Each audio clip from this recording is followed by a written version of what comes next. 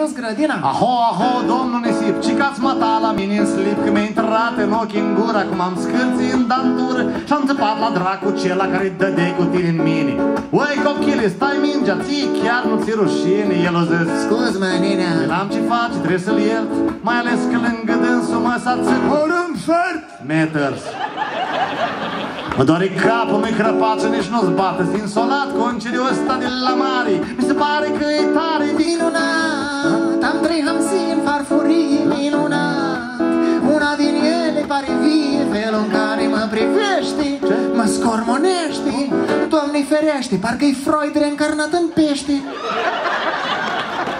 Adică cum adică? De când o coboră din tren, steluța ai tătă numai zen Pe spate roșii, caracu, fața albă ca chișleacu Iar eu săracu, mă sâsui ca în sacu Încercând să-i gonflez colacul Bărbate, Și- parcă am chicat într-o vrajă pe spate. Lângă tine pe plajă Eu mă îngrop în seminții cu bebere la chil. Privește soarele ca pe pește, ne vrăjește Cum tu? Subtil, Nu cheltuim Una foarte pestriță, ne plimbăm pe faleză Ca la bravo ai stil Văleu, Aleu, și bunica ciula la copil La, la, la, la, la. Alo?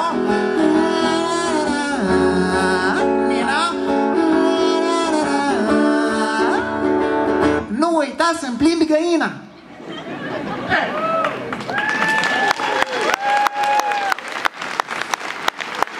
Mulțumim frumos. Uh, Gata, devin și eu serios pentru că nu vreau să mă întrebe mama, maică mea mâine, băi, și ai fost la Galați? Da. Tot prostia ai spus? Nu, mamă, Doamne ferește, festival de folk, am zis numai citate, am zis, din Balzac. Un citat din Balzac spune așa. E cineva din Botoșani a nimerit în Galați? Nu. Nu.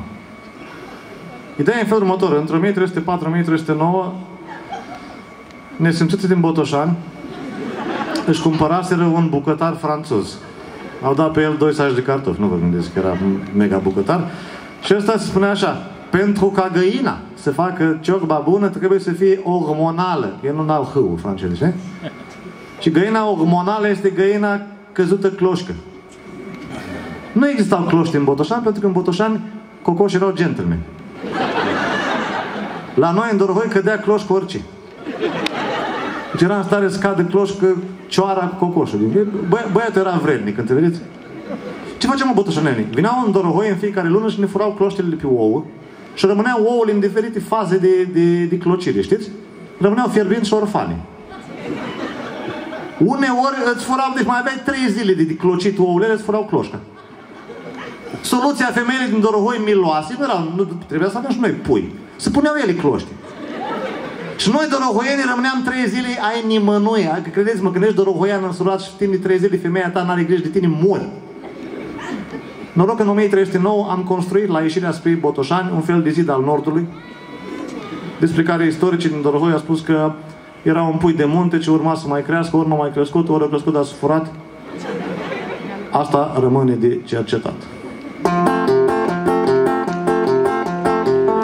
Duc la munte azi, mă duc la munte Mă duc la munte azi, mă duc pe dealul polonic. Îi tot un munte, dai mai mic.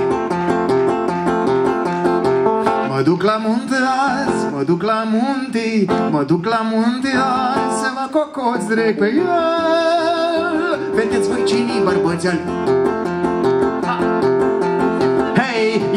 e weekend iar de mic a fost foarte mare temerar. Orașul ăsta aglomerat M-a sufocat, m-a sufocat. Aud o voce cum mă cheamă natura Mamă din nou la ea mă cheamă, da. Mă cheamă mama din balcon Că la amiază trebuie să dorm. Hai bine, dorm un ceas. Apoi am muntele la pas, apoi am muntele la pas. Cu gașca mea, brigada mea, băieții mei, golanii mei Prietenii mei, bazez pe ei, da. Am doi prieteni nu prea buni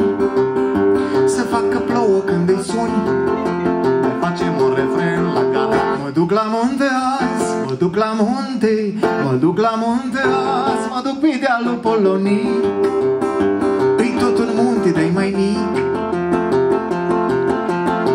Mă duc la munte azi, mă duc la munte Mă duc la munte azi Să mă cocoți drept pe el. Vedeți voi cine bărbățel ele pufi Poți încerca să-l atingi, dar nu fi prost Că mori fără rost Nu e masiv, dar e agresiv Mutilează trupul, protejează grupul Bagă în spaimă lupul da, da, da, da, da, da. Suntem în Moldova, deci cred că ați înțeles ce am să spun, nu? Că de obicei sună așa, dacă ești în sud, se aude blă, blă, blă, blă, blă, blă.